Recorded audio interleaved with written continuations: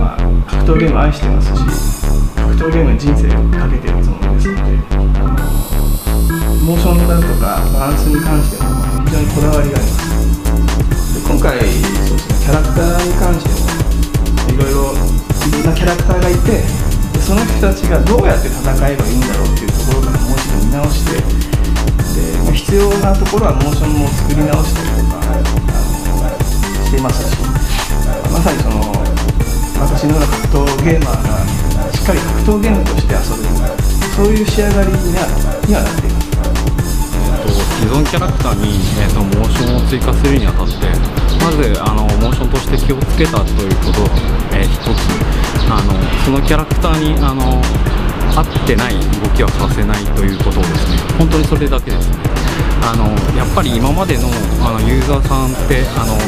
各キャラにあのイメージを持ってると思うのであのそこは絶対に壊したくないと、えいうところが、えー、大前提としてありましたねまあ、今までがすごくその、まあ、美しいキャラクターっていうことで表現してたと思いますけど今回この「デッドアライブ5」では存在感っていう言い方をしてます。まああたかもそこにいるかのような表現。でそこで実際にモニターの向こうにいるんじゃないのかというふうに感じてもらえるキャラクター表現というものにフォーカスしてます。そのデッドオアアライブ4からまあ間にディメンションズが挟まってるけれどもデッドオアアライブ4からそのキャラクターの少しだけリアルに進化させるっていう一番難しかったのそれは聞くまでもないよね。霞だよやっぱり霞はデッドライブの顔で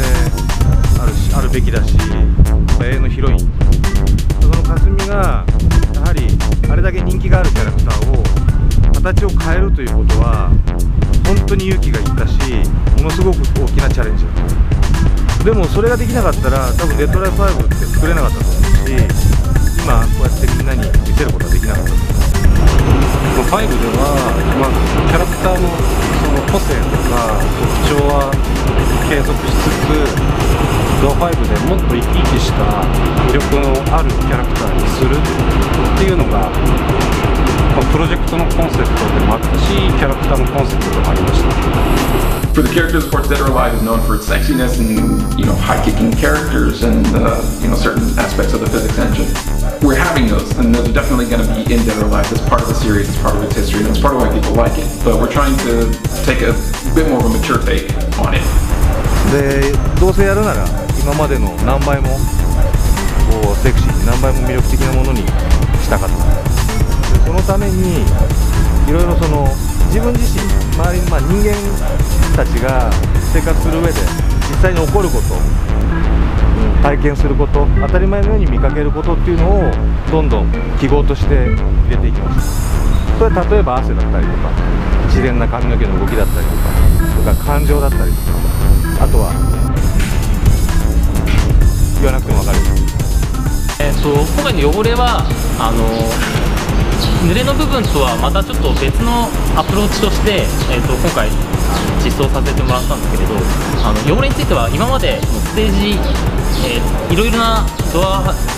レッドアライブシリーズに、えーと、いろいろなステージがあると思うんですけれどそのステージによってあの今まで全く変化がなかったっていうところをあのステージによってその激闘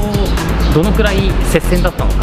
どのくらいあの激闘だったのかっていう部分を表現するためにあのすごい有効の手段として、えー、と入れさせてもらいました。またあの今回バーチファイターとのコラボレーションっていうものも入ってますけどこれはやっぱり 3D ファイティングゲームってバーチャファイターが元祖なので、まあ、今回デッドアライブという新しい未来へのチャレンジするときに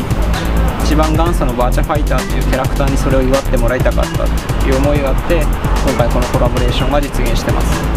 えーと、バーチャファイターのキャラクターなんですけど、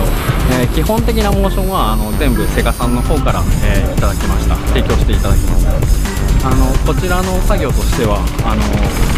デッドアライブのあのシステムに、えー、入れた時に足りないモーションを、え作業した感じになります。まあ、なんとなくボタンとかコマンドはみんな似てるの知ってると思うんですけど実際にその違うゲームなんでそのバーチャルファイターのキャラクターがデッドアライブのルールに乗って戦ったらどうなるかってそういうワクワクするような戦いをねあの用意してますのでこれはもう楽しみにしていただきたいと思います。